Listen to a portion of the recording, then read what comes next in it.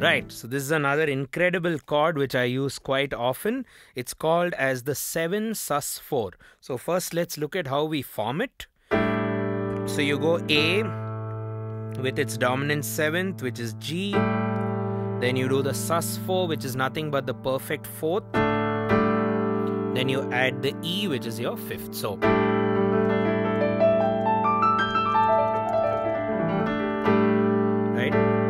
this with the fifth, nice sound, or even without the fifth, a more cleaner sound, I guess, right?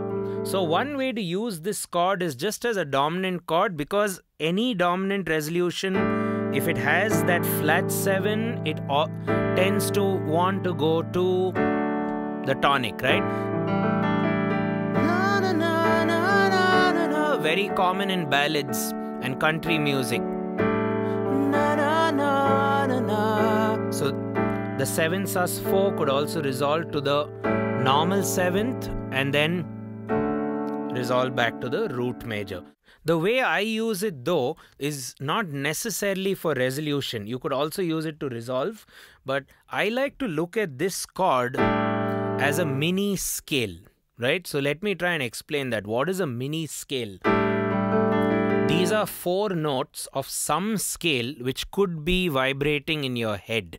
Okay, so if you take these four notes, which is la da da da, okay, la da da da. Now these are four notes of a possible seven note scale. There are four. There are uh, 7 minus 4, 3 notes are missing. So you could try and actually fill up the pieces of the other notes and use this to kind of improvise on a 7 note scale or even a 6 note scale or a 5 note scale, you know. So let's try and build one. La da da da da. So what did I do? I filled in the I did the root I, uh, sorry, I did the major two. La da. Then the major third. La is part of the chord. La is part of the chord. La is part of the chord. So la da di di da do do do do. La da da da da di da di di da di. It's a very Mixolydian voicing. La di da da di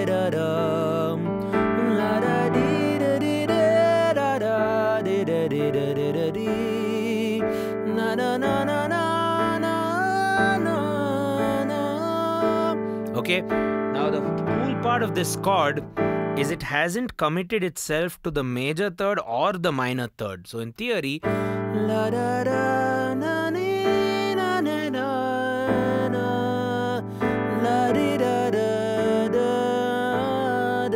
You could in theory even play like a, a scale with a minor third, even though it's not very common.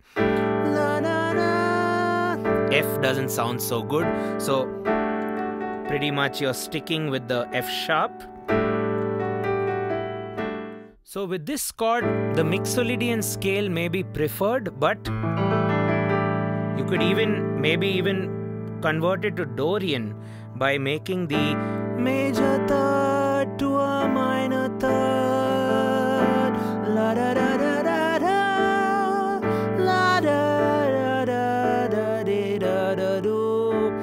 Right? Rather rare. So generally you're looking at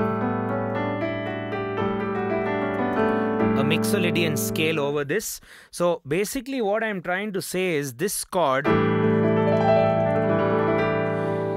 is sort of a mini scale. It could give you like all sorts of options melodically. You know, even the notes of the chord itself are melodic options.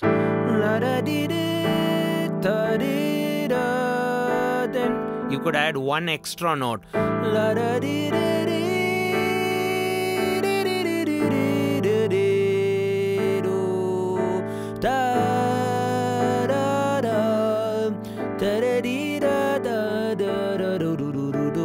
very nice for a you know for an instrumentalist to kind of uh, do a, a nice alap in the beginning or a nice improvisation or a nice ambient solo okay very mysterious chord. Let's move on